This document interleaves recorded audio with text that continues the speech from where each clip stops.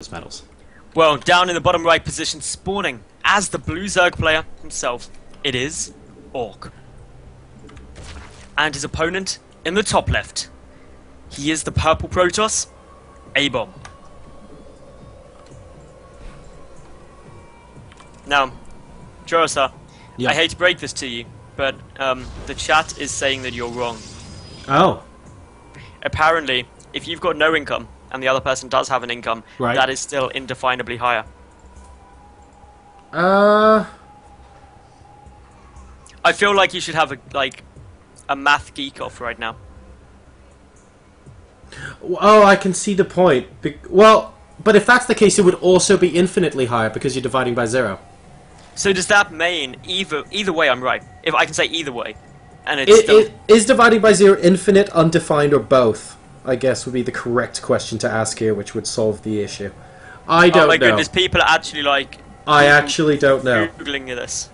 I'm impressed though. Like the, the the the fact that we have a discussion about this in chat is all the reasons why I really like this community. this is awesome. But I, I was under the impression that as long as you can still define it, even if you can define it as inf- infinite, it's arguably not indefinable. But maybe someone's going to correct me there. I don't know. I'm an engineer, not a mathematician. I don't deal with zero. I deal with big, manly numbers. So I'm sure someone will get on the case. Big manly numbers, sure. Sure you do, JoRoSaR. But anyway, of course, I think it's also worth noting that we've achieved something magical on Twitch. We've gone over a thousand viewers, and we're still having intelligent conversations. Does 1 over kappa equal kappa? Now that's more like a maths question I can answer. Yeah, that seems like that's more like it, Bammy. Well done. That's what we expect for a thousand plus Twitch channel. I like how someone's like, yeah, it's like 6.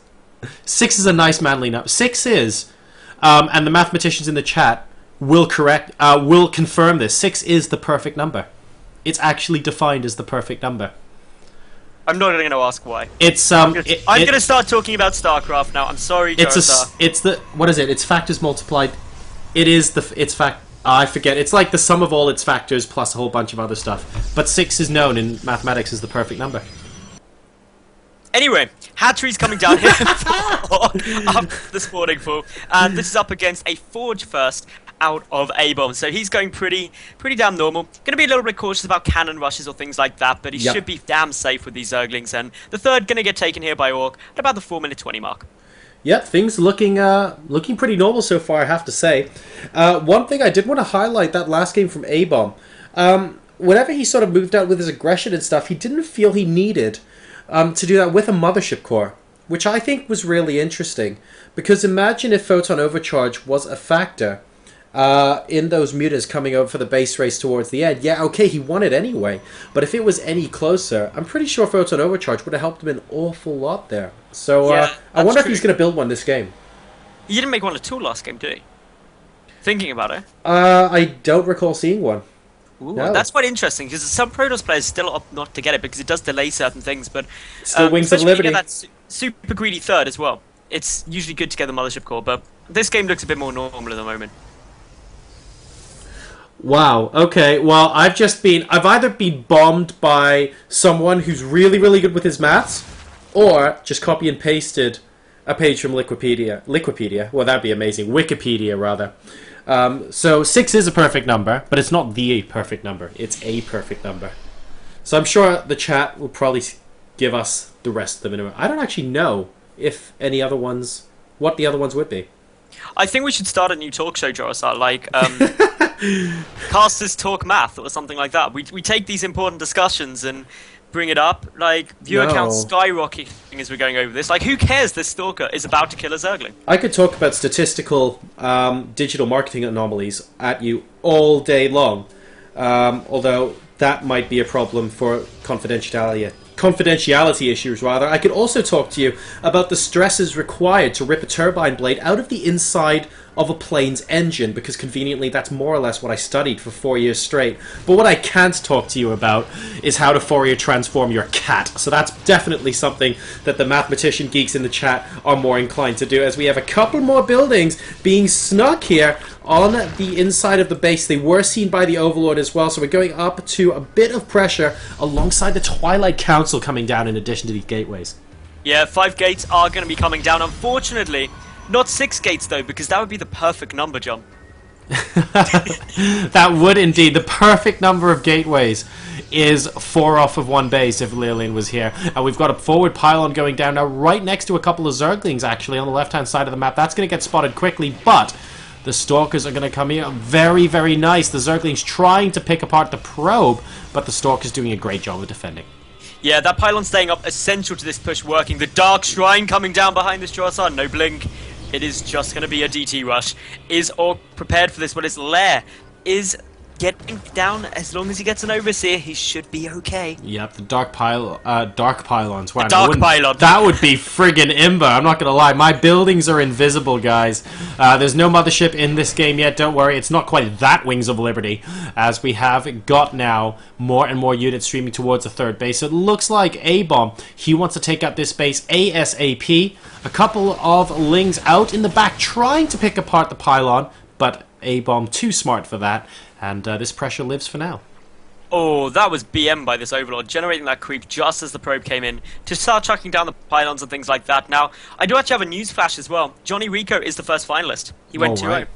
Okay, congratulations to him. And uh, considering he was also the winner of the last qualifier, maybe not too surprising there, but of course still having to go through a raft of UK players to do it. And he is gonna, now going to be meeting either A Bomb oh, or no. Ourk. Oh no, DTs. Oh. DT's draws are there's an Overseer morphing, but he hasn't noticed the other one coming up towards the natural, and there is no Overseer there. Oh, oh and inside the third base. Wow. Well, that's uh, pretty much a way to sort of keep your drones from going down. They're really trying to surround them with his own units, successfully doing that. But this second DT is about to start taking some names at the natural. And, well, he should start doing it soon. He's actually starting with a swipe on the queen. He hasn't killed a single worker yet. There we go and only one worker dying. A little bit of miscontrol there from A-Bomb. We now have some more pressure coming in at the third base location. There's the mothership core we were talking about. Let's see how much this can do.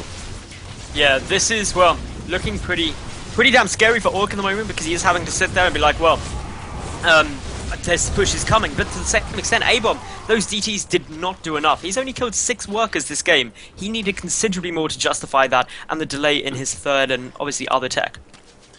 Yeah, this is uh, not looking that great for A-Bomb, I have to admit, in terms of pressure, or currently a 116 supply versus 83, and he's got double the army supply as well, so he's feeling pretty comfortable. Is he launching for a massive counterattack off the back of this? Nope, no. because he's just going to go for the Spire, and he's taking his fourth and fifth bases. I really like this move from Ourk.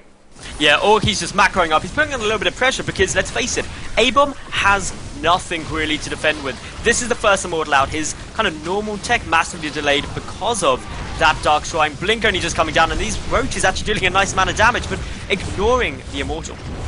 Yeah, and that's uh, that's probably a good way to go at the moment because the prize really are these sentries over here by the third base location. Two out of three of them going down now. Is he going to be able to pick apart the third one? Very close. Nice force field there. I feel like this is some sort of StarCraft mini game. The sentry just about surviving.